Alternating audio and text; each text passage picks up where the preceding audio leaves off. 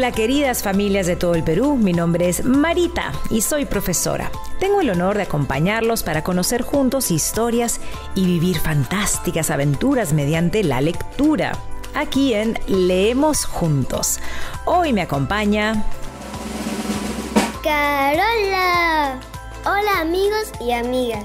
Estoy muy emocionada porque hoy es nuestro primer programa. ¡Qué alegría! Pero, ¿qué vamos a hacer? Eso ya lo vas a descubrir. Primero, demos la bienvenida. Este programa es para todos los y las estudiantes de primaria. Bienvenidos a todas y a todos.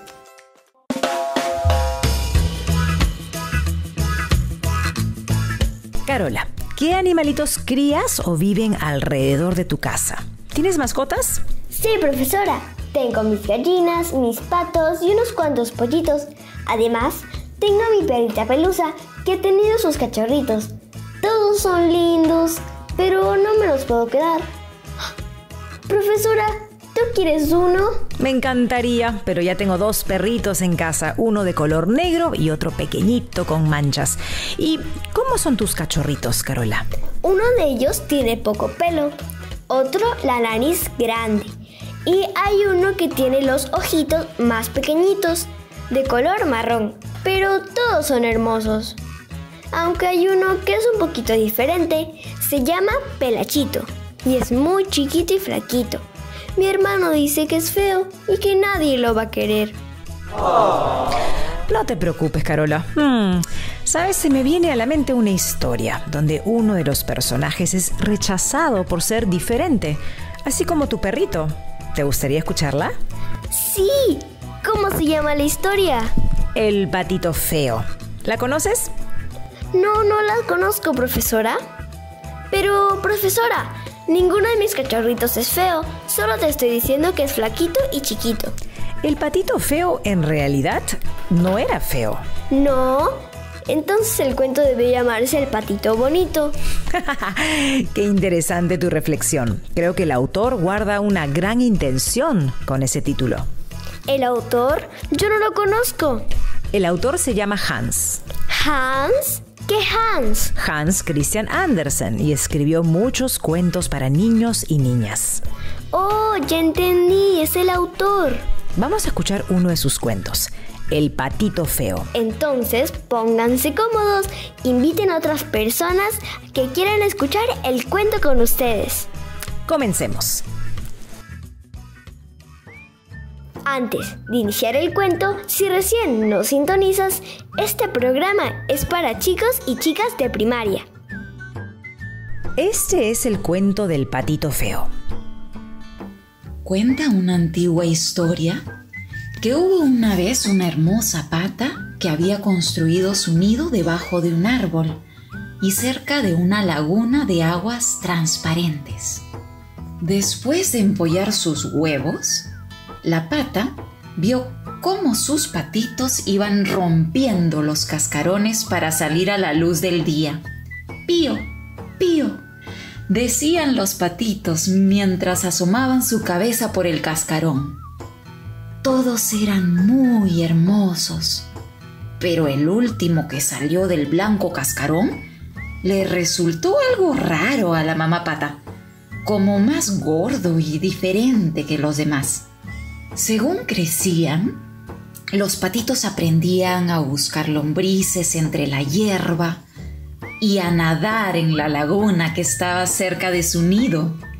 Día a día se iban haciendo más hermosos y fuertes, excepto el último, que se hacía cada vez más raro, grandote, desgarbado y con el cuello más largo.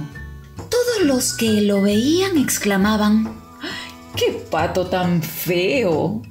El pobre patito se sentía muy triste, pues hasta sus hermanos lo despreciaban y su misma madre llegó a mirarlo con no muy buenos ojos.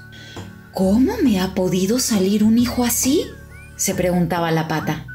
¿No será que alguien me cambió uno de los huevos? Niñas y niños, ¿le habrán cambiado los huevos? Carola, ¿tú qué crees? Ay, no sé. ¿cómo podrían cambiarle los huevos? Vamos a ver qué sucede. Sí, profesora, sigamos.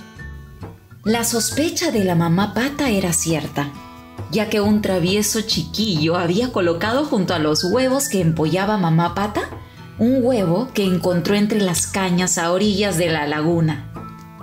Un buen día, al pobre patito se le ocurrió mirarse detenidamente en las amplias aguas del lago.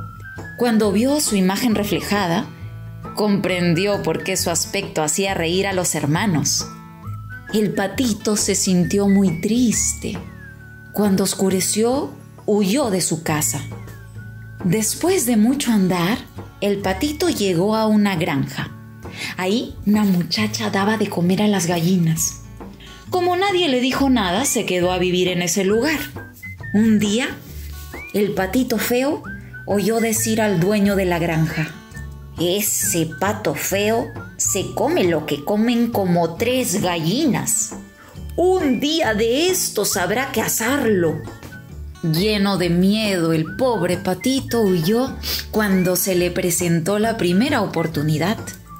Llegó a una región pantanosa y se refugió en unos arbustos. Allí pasó el invierno, con frío y mucha tristeza. Carola, si te encontraras con el patito, ¿qué le dirías?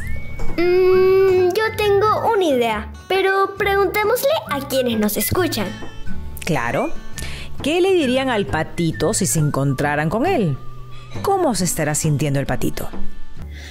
Pasó el invierno y se fueron los días fríos. Con la primavera volvió a salir el sol y comenzaron a brotar las flores. Las orillas del pantano se llenaron de verdor y el patito feo comenzó a sentirse más alegre. Una tarde, mientras nadaba por las tranquilas aguas del pantano, el patito feo vio una bandada de hermosas aves que llegaban volando. Lo hacían con gran elegancia y se posaban suavemente sobre la superficie del agua. Al pobre patito feo le parecían las criaturas más bellas del universo y se retiró avergonzado, tratando de ocultar su fealdad entre los arbustos. De pronto, escuchó que le decían, No te vayas, hermano, ven con nosotros. El patito se detuvo asombrado. ¿Cómo podían llamarle hermano? Agachó la cabeza y después de un largo rato volvió a contemplar su imagen reflejada en el agua. Se quedó asombrado al comprobar que durante el invierno había crecido y se había convertido en un hermoso cisne blanco. Por primera vez, el patito se sintió feliz. Extendió las alas y alzó el vuelo. La bandada de cisnes lo recibió con alegría y cariño. Había dejado de ser un patito feo, era un bello cisne. Desde entonces nunca más volvió a estar solo y triste. Este cuento es de Hans Christian Andersen.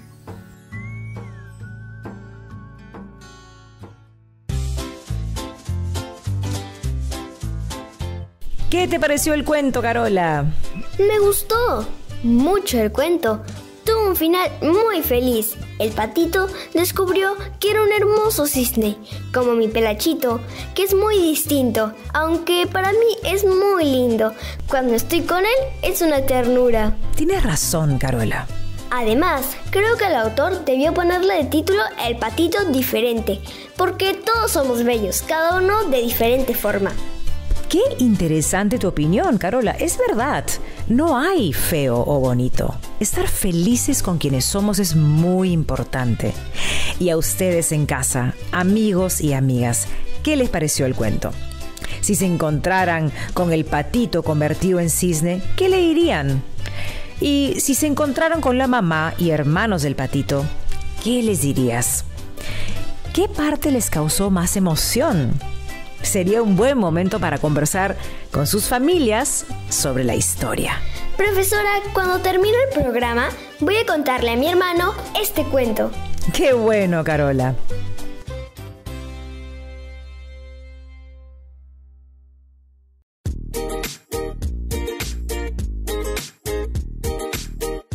Qué alegría, Carola, que puedas compartir esta experiencia con otras personas.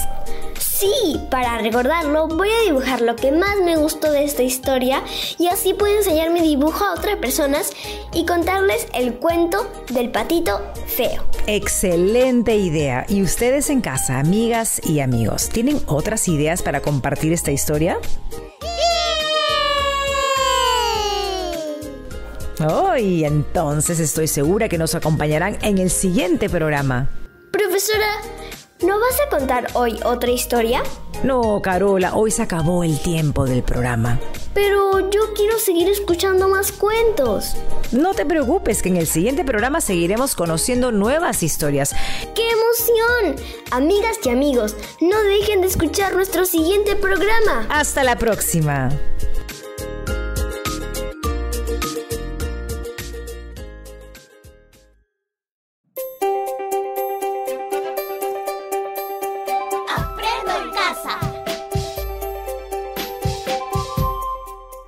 Ministerio de Educación. Gobierno del Perú. El Perú primero.